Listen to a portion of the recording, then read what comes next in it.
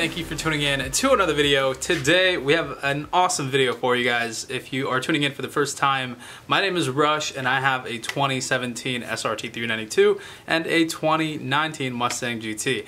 Now, there's a ton of comments about you guys wanting me to run the two cars against each other and trust me, I want to as well. Uh, only reason I haven't done so up until now is because the SRT uh, needed some new wheels and tires to really kind of put its power down and I wanted to make sure that it was getting that uh, traction that it needs in order to perform properly against the Mustang so at least we have a fair e even race between the two cars. So new wheels come uh, on the car tomorrow. They're gonna have uh, some nice sticky tires on them and uh, I think at that point it'll be very fair to go ahead and run the cars. But in the time being, since we can't run the cars against each other just yet, uh, if you guys watch a previous video of mine, I ran my 2019 Mustang GT, which is stock, versus a 2017 Mustang GT that had some bolt-on modifications, pretty much everything except for headers. Uh, it ran really good. It was putting a car to two cars on me uh, in the runs, so definitely some very solid runs, and uh, the car ran really good. So uh, before the owner left, since he made a pretty long drive to get out here anyways, uh, I decided to pair him up against my SRT. I really wanted to see if the SRT can get the advantage with it being automatic. Um, so we went ahead and went back out to Mexico to get these runs in for you guys and uh, kind of see where the SRT stands against a almost full bolt-on 2017 Mustang GT. Uh, it was having traction issues, I'll tell you that, and I knew that was going to be kind of a, uh, the, the, case, but anyways, we're doing it for fun. We want to kind of get an idea.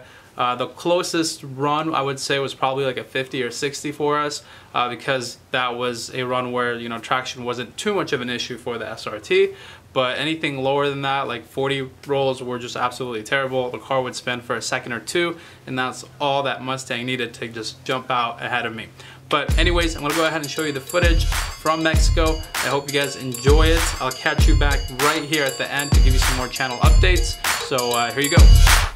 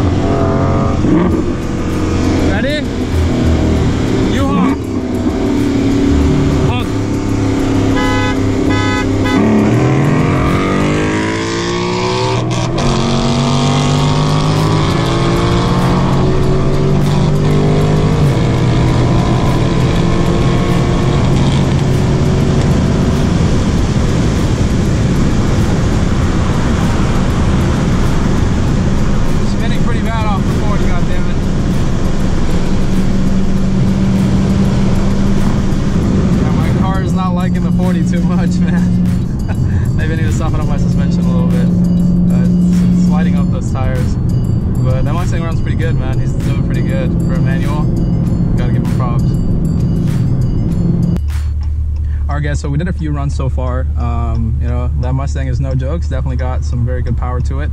Uh, only problem is that this car keeps lighting up the tires uh, anytime I try to do it from a uh, 40. It's just definitely lighting them up and there's no way around it right now because these tires don't have a lot of life on them um, because I'm supposed to be picking up my 315s um, and this run was really not planned. Uh, we mostly met up because we wanted to run the Mustangs, but we decided after seeing how the um, how the Mustang did against you know my Mustang that it would be a good maybe race to try to run these two together and see what it does. But yeah, the SRT is definitely not pulling her weight right now, and mostly just because she's not holding traction, um, unless it's like a high roll. So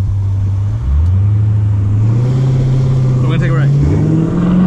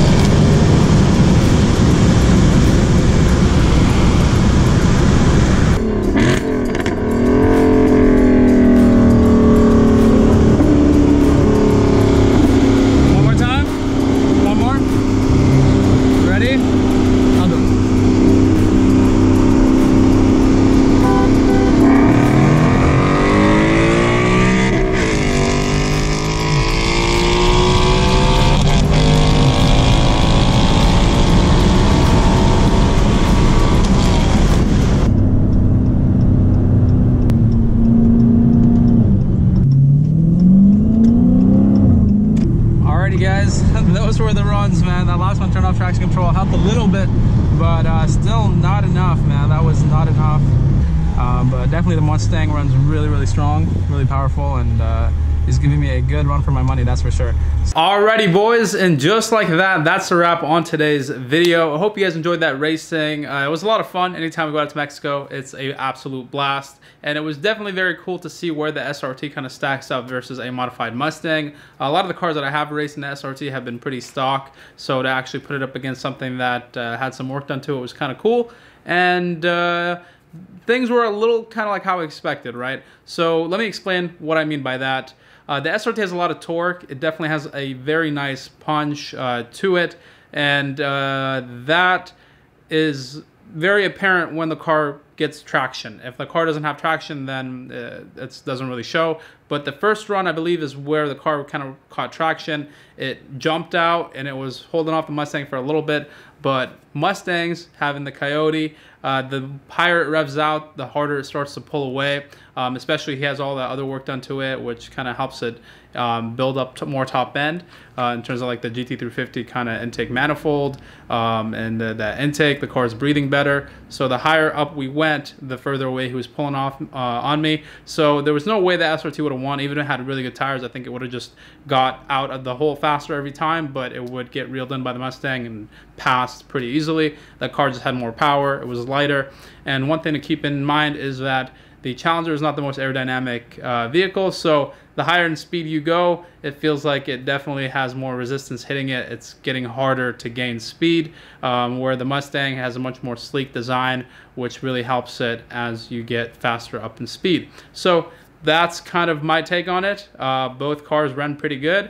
Uh, there's really no complaints other than I didn't really have too much traction, but that wouldn't have mattered anyway uh, because when I did catch traction, he was still pulling on me pretty hard. So that is it for uh, the racing today. Let me know what you guys think down below. I know there's going to be a huge debate on which car is better and which car is faster and all that good stuff. So go ahead, leave it down in the comments below. It's very entertaining to see both sides uh, present their arguments as to why each car is faster. Uh, it happens on every video. We mention a Mustang and a Challenger, so it's become pretty normal around here.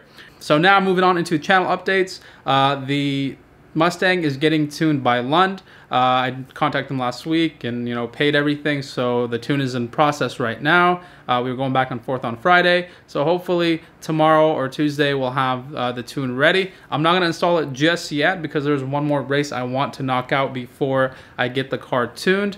Um, so I ended up doing a 91 um, 85 flex tune with them, a ghost cam tune just kind of for car shows for fun, um, and then a full E85 race tune. So hopefully that'll be ready. This is my first time ever getting a car tune, so it's gonna be a little bit of new territory for me. Um, you know, this whole uh, you know being modified and stuff like that is really in general uh, pretty new to me as well. But I'm doing my best to kind of educate you guys and help myself out at the same time uh, progress. So I heard E85 is going to make a world of a difference on the Coyote, and I'm super excited to see how it is. We'll get my first reaction video to being tuned uh, on E85 very soon. Um, so now some more updates for the Challenger. Challenger, uh, there's a few things I want to knock out this week. Definitely getting the wheels and tires uh, mounted, balanced, and installed tomorrow. So we'll have uh, the new wheels on. Also, there's a few more cosmetics I'm going to do, and maybe one or two uh, minor things that we'll maybe discuss in a week or two from now. But as of right now, I'm happy with the, where the Challenger is. I got the window tinted on at the windshield, so it looks a lot better. Um, but I've been mostly just doing a bunch of cosmetic stuff to it. Don't really plan to modify it any further in terms of performance. I'm really happy with the way it is. My daily driver right now. Um, and I use it to go all over the place, and I never have an issue because it's super reliable. So that is what the plan is with that. But the Mustang, we're to continue on with the build, uh, making more power and getting more races in for you guys. So thank you so much for tuning in. If you did enjoy today's video, slap a like on it, subscribe to the channel so you can support it and help it grow and help me give you awesome content that's entertaining. So my name is Rush, and I will catch you guys next time. Peace.